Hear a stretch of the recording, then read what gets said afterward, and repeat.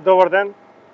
Што туку ја завршив посетата на компанијата Нехо Исни, каде заедно со господинот Исни извршивме обиколка во производствените капацитети за производство на сладолед, што оваа компанија успешно го прави од 2012 година, како еден од двата единствени производители на македонскиот пазар.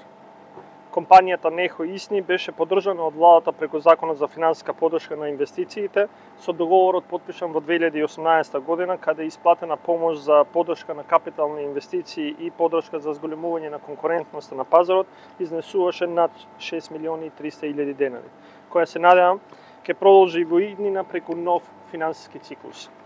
Оваа прилика сакам да нагласам дека компанијата суровините за производство на сладоледот ги купува исклучиво од домашните компании, при што над 70% од производството е наменето за регионалниот и европскиот пазар, а останатиот дел се пласира на домашниот пазар.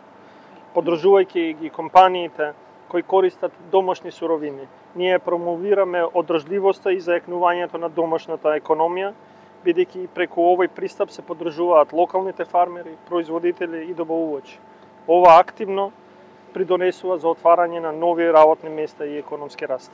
Денес Некои Исни вработува 90 лица, од кои 40 на вработување се креирање во време трајање на инвестицијскиот проект од 2018 до 2022 година.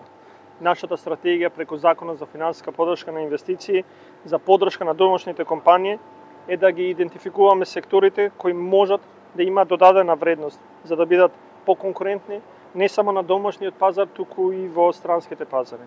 Планот за економски раст поставен во 2017 година потврдува дека оваа влада го знае вистинскиот пат за економски раст и развој на нашата земја.